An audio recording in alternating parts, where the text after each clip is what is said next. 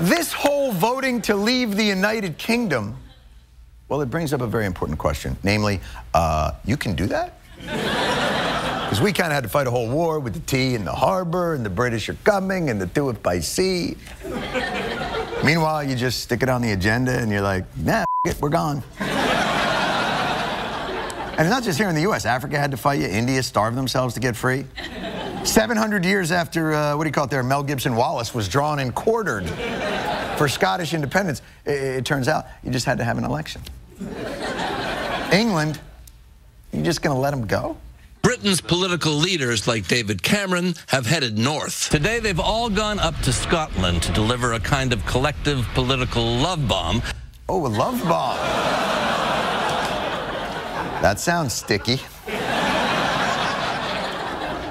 I believe we actually have footage of Prime Minister Cameron pleading with the Scottish people to come back.